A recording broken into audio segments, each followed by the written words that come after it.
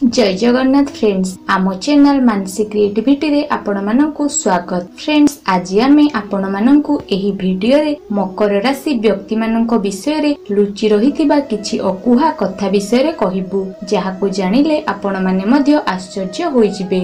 ତା ସହିତ ଏହି ଭିଡିଓରେ ଆମେ ଆପଣମାନଙ୍କୁ ଏପରି କିଛି ମକର ରାଶି ବ୍ୟକ୍ତିମାନଙ୍କ ବିଷୟରେ ଲୁଚି ରହିଥିବା ଗୁପ୍ତ କଥା ବିଷୟରେ କହିବୁ ଯାହାକୁ ଜାଣିବା ନିତ୍ୟାନ୍ତ ଆବଶ୍ୟକ ଅଟେ। ସମ୍ପୂର୍ଣ୍ଣ ଭିଡିଓଟିକୁ ଷ୍ଟାର୍ଟ କରିବା ପୂର୍ବରୁ କହିନିଏ ଯଦି ଏ ପର୍ଯ୍ୟନ୍ତ ଆପଣମାନେ ଆମ ଚ୍ୟାନେଲକୁ ସବସ୍କ୍ରାଇବ କରିନାହାନ୍ତି ତ ଜଲ୍ଦି ଜଲ୍ଦି ସବସ୍କ୍ରାଇବ କରି ନିଅନ୍ତୁ ଓ ପାଖରେ ଥିବା ବେଲ୍ ଆଇକନକୁ ମଧ୍ୟ କ୍ଲିକ୍ କରି ଦିଅନ୍ତୁ। ଏହା ଦ୍ୱାରା ଆପଣମାନେ ଆମର ଭଲ ଭଲ ଭିଡିଓ ସବୁର ନୋଟିଫିକେସନ ସର୍ବପ୍ରଥମେ ପାଇପାରିବେ। ତେବେ ଫ୍ରେଣ୍ଡସ୍ ଆସନ୍ତୁ ଜାଣିବା ମକର ରାଶି ବ୍ୟକ୍ତିମାନଙ୍କର ଜନ୍ମଠାରୁ ମୃତ୍ୟୁ ପର୍ଯ୍ୟନ୍ତ ଲୁଚି ରହିଥିବା ସେହି ସବୁ କଥା ବିଷୟରେ ଜାଣିବା। ଜ୍ୟୋତିଷବିତ୍ ମାନଙ୍କ ଗଣନା ଅନୁଯାୟୀ ମକର ରାଶିକୁ ସାଧାରଣତଃ ତିନି ଭାଗରେ ବିଭକ୍ତ କରାଯାଇଛି। ଯଥା ଏକୋଇଶ ବାଇ ଦଶ ଉତ୍ତର ଫାଲ୍ଗୁନୀ ନକ୍ଷତ୍ର ମକର ରାଶି। ଏମାନେ ହେଉଛନ୍ତି ମାନବ ଗଣ। ତା ସହିତ ଏମାନେ ରାଜସିକ ଭକ୍ତିରେ ପ୍ରିୟ ଅଟନ୍ତି। ବାଇଶ ବାଇ ଦଶ ଶ୍ରବଣା ନକ୍ଷତ୍ର ମକର ରାଶି। ଏମାନେ ହେଉଛନ୍ତି ଦେବଗଣ। ତା ସହିତ ଏମାନେ ଧର୍ମପରାୟଣ ମଧ୍ୟ ଅଟନ୍ତି। ତେଇଶ ବାଇ ଦଶ ଧନିଷ୍ଠା ନକ୍ଷତ୍ର ମକର ରାଶି। ଏମାନେ ହେଉଛନ୍ତି ଦାନବ ଗଣ ଏମାନେ ପ୍ରାକୃତିକ ସୌନ୍ଦର୍ଯ୍ୟ ପ୍ରିୟ ଅଟନ୍ତି। ତା ସହିତ ଅଳ୍ପ କଥା ହେବା ପାଇଁ ପସନ୍ଦ ମଧ୍ୟ କରିଥାନ୍ତି।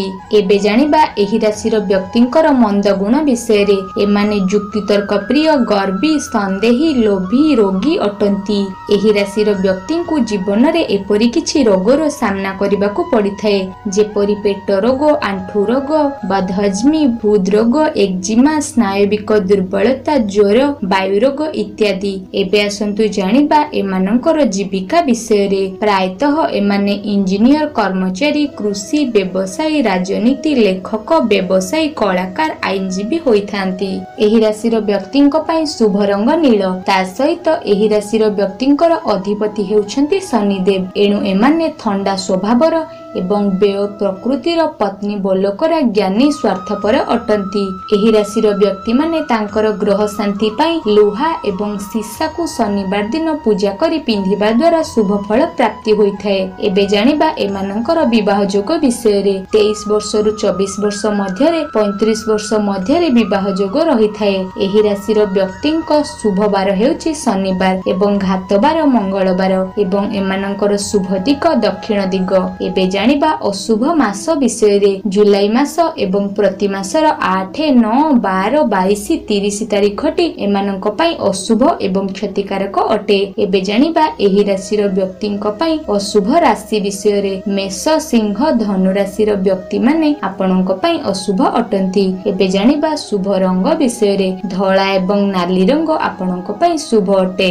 ଜନ୍ମଠାରୁ ପନ୍ଦର ବର୍ଷ ଏବଂ ଷୋହଳ ବର୍ଷ ପର୍ଯ୍ୟନ୍ତ ଏବଂ ବତିଶ ଠାରୁ ଅଠାବନ ବର୍ଷ ପର୍ଯ୍ୟନ୍ତ ଏହି ରାଶିର ବ୍ୟକ୍ତିଙ୍କ ଜୀବନରେ ଥରେ ନା ଦୁଇଥର ଅପରେସନର ଯୋଗ ରହିଛି।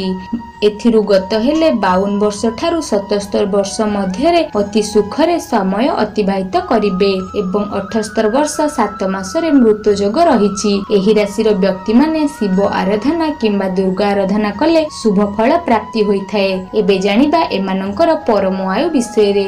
ଏକୋଇଶ ବାଇ ଦଶ ଉତ୍ତର ଫାଲ୍ଗୁନୀ ନକ୍ଷତ୍ର ମକର ରାଶି ପରମ ଆୟୁ ବାସ୍ତରୀ ବର୍ଷ। ବାଇଶ ବାଇ ଦଶ ଶ୍ରବଣା ନକ୍ଷତ୍ର ମକର ରାଶି ପରମ ଆୟୁ ବାଷଠି ବର୍ଷ। ଏବଂ ତେଇଶ ବାଇ ଦଶ ଧନିଷ୍ଠା ନକ୍ଷତ୍ର ମକର ରାଶି ପରମ ଆୟୁ ସତାଅଶୀ ବର୍ଷ। ତ ଫ୍ରେଣ୍ଡସ୍ ଏ ଥିଲା ମକର ରାଶି ବ୍ୟକ୍ତିମାନଙ୍କର ଜନ୍ମଠାରୁ ମୃତ୍ୟୁ ପର୍ଯ୍ୟନ୍ତ ଲୁଚି ରହିଥିବା କିଛି ଗୁପ୍ତ କଥା। ଯଦି ଫ୍ରେଣ୍ଡସ୍ ଆମର ଏହି ଭିଡିଓଟି ଆପଣମାନଙ୍କୁ ଭଲ ଲାଗିଥାଏ ଭିଡିଓକୁ ଲାଇକ୍ ସେୟାର କମେଣ୍ଟ ନିଶ୍ଚୟ କରନ୍ତୁ। ଏହା ସହ ଆମ ଚ୍ୟାନେଲକୁ ସବସ୍କ୍ରାଇବ କରନ୍ତୁ ଓ ପାଖରେ ଥିବା ବେଲ୍ ଆଇକନକୁ ମଧ୍ୟ କ୍ଲିକ୍ କରି ଦିଅନ୍ତୁ ଆପଣଙ୍କ ଦିନ ଶୁଭମୟ ହେଉ।